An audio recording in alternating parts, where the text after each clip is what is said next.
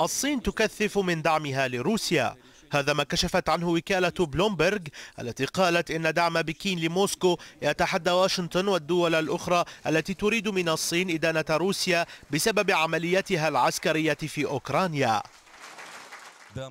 وفي أحدث مغازلة بين الصين وروسيا كشف المتحدث باسم الخارجية الصينية تشاولي جيان أن بلاده وموسكو تلتزمان بتطوير تحالف جديد لا يرمي للتسبب بمواجهات أو استهداف لدول أخرى وأن الجانبين اتفقا على نموذج التحالف العسكري والسياسي في حقبة الحرب الباردة.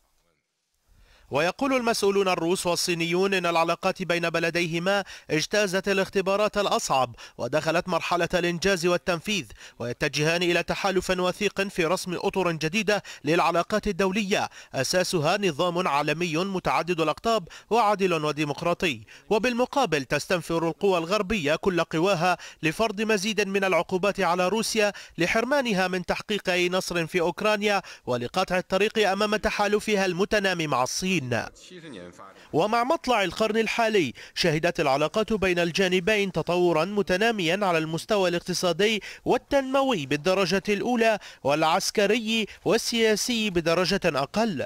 فالحاجة الصينية للطاقة والسلاح والطرق والأسواق والحاجة الروسية للبضائع والأيدي العاملة والتكنولوجيا الصينية نشأ عنها تطور في العلاقة.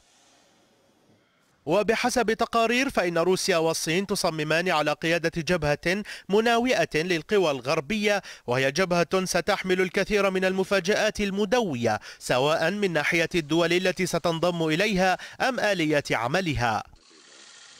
وسيعتبر التقارب الروسي الصيني أمرا خطيرا ومثيرا للقلق من وجهة نظر الولايات المتحدة والغرب بشكل عام. وسيزداد القلق إذا ما قرر بوتين وشي زيادة تنسيق السياسات وتقاسم القواعد العسكرية وتقديم التنازلات الاقتصادية وتبادل التكنولوجيا العسكرية مثل الصواريخ الأسرع من الصوت والأسلحة المتطورة الأخرى.